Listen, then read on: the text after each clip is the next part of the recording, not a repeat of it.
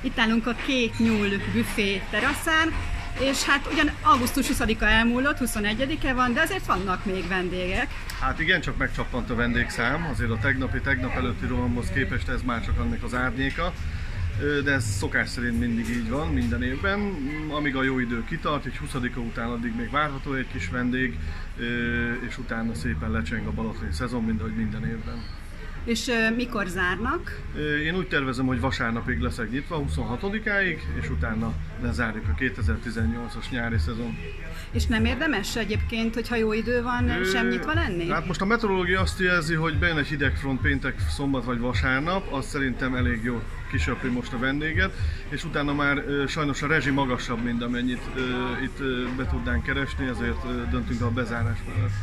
És egyébként milyen volt a szezon? Szerintem elég jól zárult. A szezon elejé idegesség, a sok rossz idő, eső után azért a július közepétől augusztus 20-áig kikerekedett a vége. Tehát összességében elmondható, hogy a Balaton partján közvetlenül, tehát a strandon, a strand mellett tulajdonképpen a vendéglátósok bezárnak ilyenkor. Általában igen, azt hiszem. Ez gazdasági számítások alapján mindenki így tervezi. Köszönöm.